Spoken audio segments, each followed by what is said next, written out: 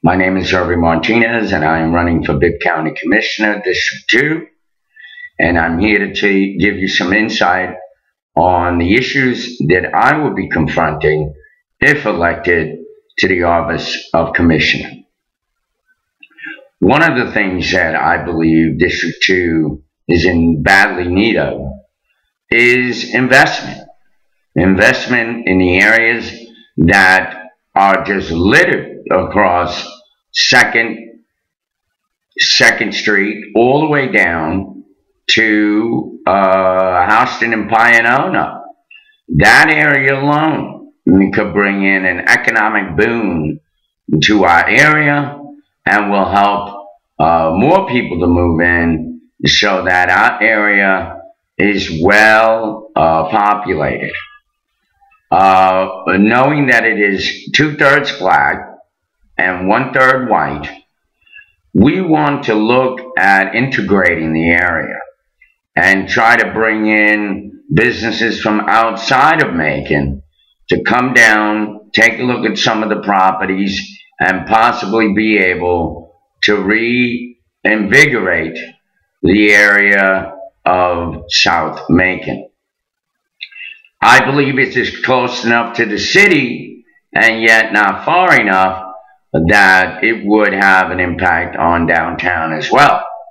As part of my district, as I say, would be crossing over from Martin Luther King all the way down to the south side of Cherry Street.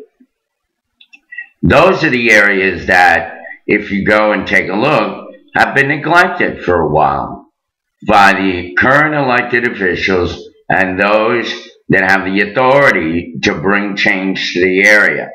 That has not been done.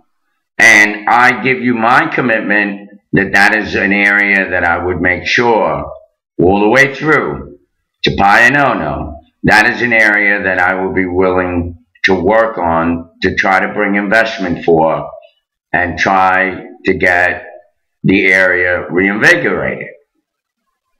The other issues that I think are available for those willing to invest is a lot of the properties uh, throughout this area that have been abandoned and condemned.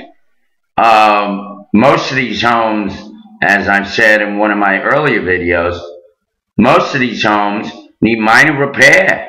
It's not a lot of money to take one of these houses and fix them up. And therefore, we'll have enough housing available when and if people start to come in to the areas. Our population is growing now in Macon. And I believe it is because we are a progressive city. But some of the issues concerning safety, public safety, those are the issues that I also need to confront. No one's going to invest in a place that has high crime rates, have high drug rates, and has a uh, population that is basically not able to meet the standards that most cities have. One of those being a lot of kids out of school, a lot of kids not going to school, and a lot of young men and women without work. That is a big problem, folks. That is one that we have here in Macon, Georgia, and that we must also confront.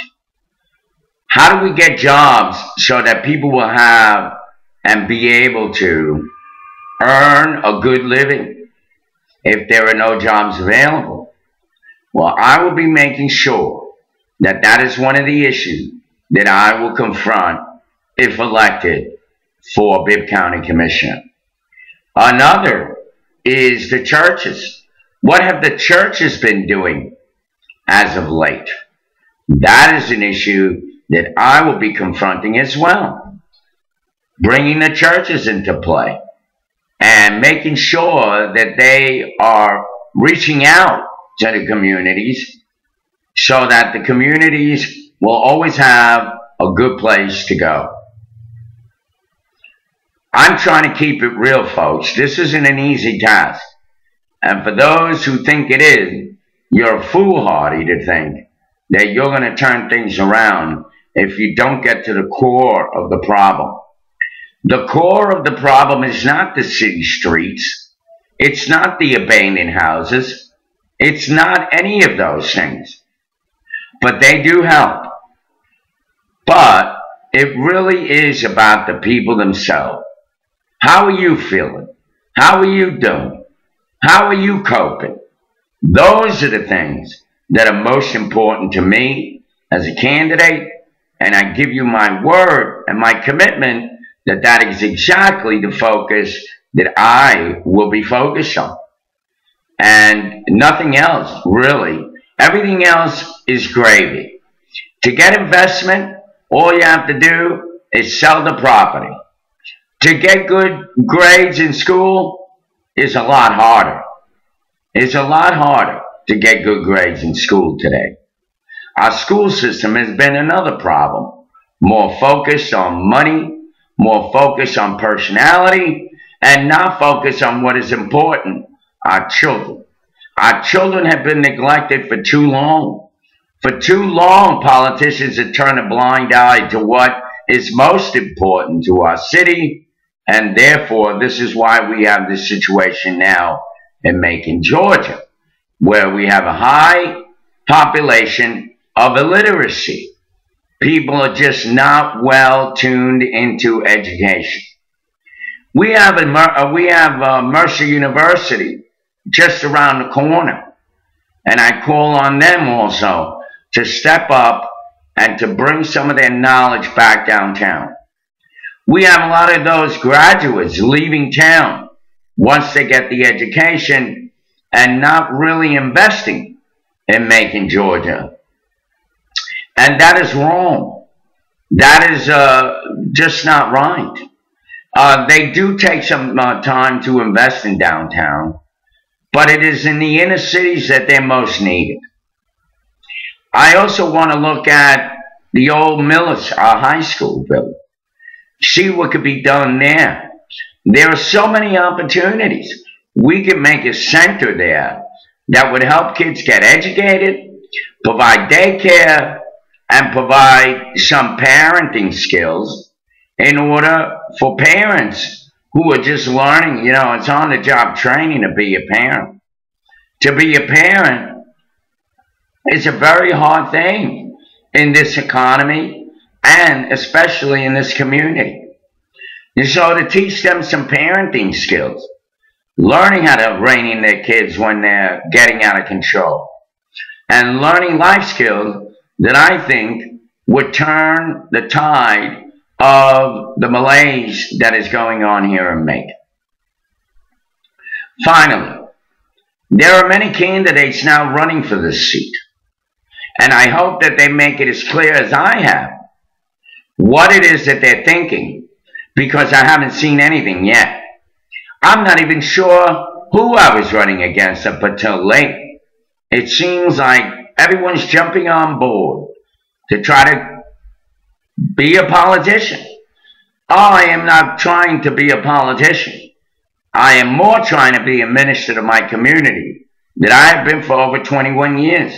I have led a lot of so-called volunteer efforts.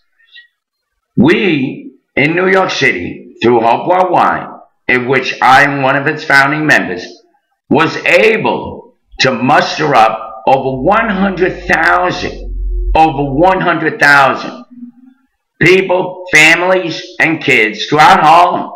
It, at the time, it was uh, known as Hope for Harlem. And we were able to knock on doors and get 100,000 kids immunized. I have led troops of 650, 700 people to go clean up a park.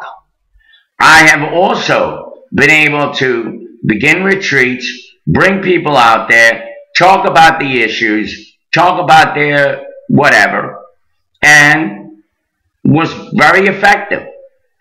I've been a minister now for 21 years. I have led ministries that are a thousand strong. And so, to me, this challenge is nowhere near the challenges that I've already faced. That gives me some credibility to being a candidate that could definitely make a difference. And that is all I'm trying to do, is make a difference. Making a difference means I am mad. I am mad about our city. I love our city. I think our city is great. I think the opportunities are there for everyone to have an impact and to God be the glory. Again, thank you and wish me luck.